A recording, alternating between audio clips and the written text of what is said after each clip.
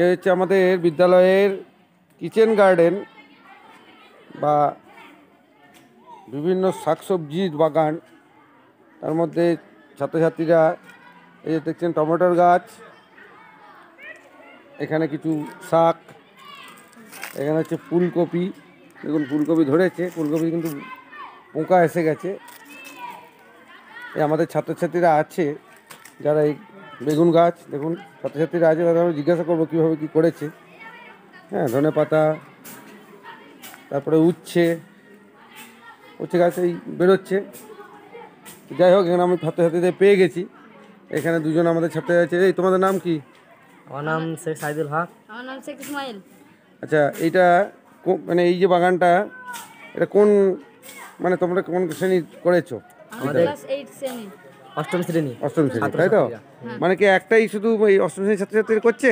না বিভিন্ন ক্লাসে বিভিন্ন প্লট ভাগ আছে। ও আচ্ছা আচ্ছা। ওই দূরে দেখা যাচ্ছে যে ওগুলো সেভেন আছে সিক্স আছে প্রত্যেক ক্লাসে ভাগ আছে। আচ্ছা তার মধ্যে দেখছি যে ইটেরই সবচেয়ে ভালো হয়েছে। তোমরা কি কি গাছ এখানে আছে? ফুলকপি টমেটোর আহ, মূলো মূলো শাক পালং শাক পনকা শাক ধনে পাতা কাঁচা লঙ্কা পেঁয়াজ পাতা পেঁয়াজ পাতা গাজর আছে। গাজর আছে করলা আছে ইত্যাদি ইত্যাদি আরও গাছ আছে। বাহ। শাকসবজি বিভিন্ন হ্যাঁ তাহলে তোমরা আজকে কি করবে? কি জন্য এসছো? আজকে ফুলকপিগুলো লাগানো হয়েছে এগুলোতে পোকা ধরে গেছে। আচ্ছা যেই যেই ফুলকপিতে যে একটা কীরকম রং হয়ে গেছে না? ওষুধ দেবো আজকে। আজকে আচ্ছা দেখি।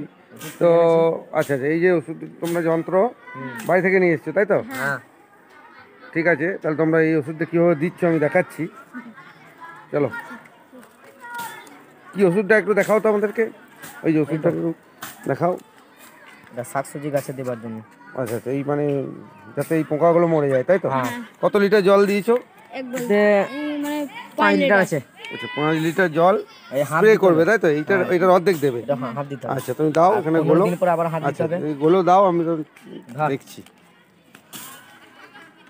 দিন বাদ দিতে হবে কাজ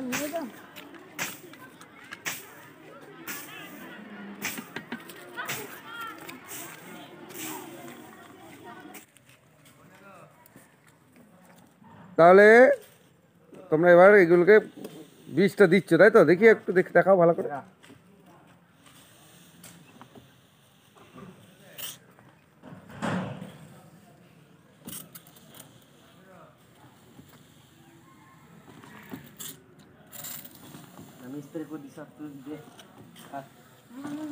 হ্যাঁ একজন স্প্রে করুক একজন তুমি ঠিক মতো করে দাও।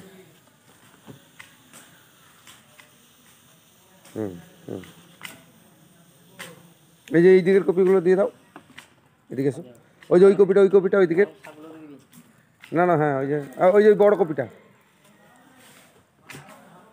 প্রত্যেকটা গাছে দিয়ে দেবে মানে যেগুলো কপিগুলোতে। মানে যাতে না নষ্ট হয়ে যায়। বাহ, খুব সুন্দর।